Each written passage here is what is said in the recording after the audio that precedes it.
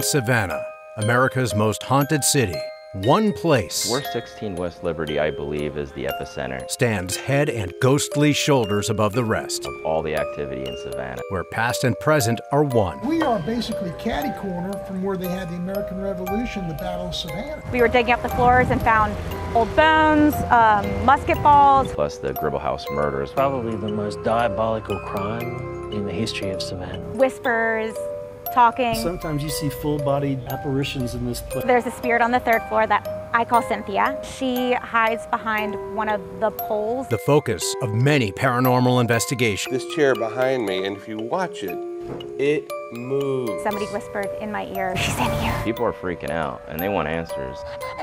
It goes as deep as you possibly can. You're not going in? No, I don't want to go back there. You don't have to be an expert in the field. People are going to learn how to use paranormal equipment. Me, that's where it happens. That's, that's where you can justify and validate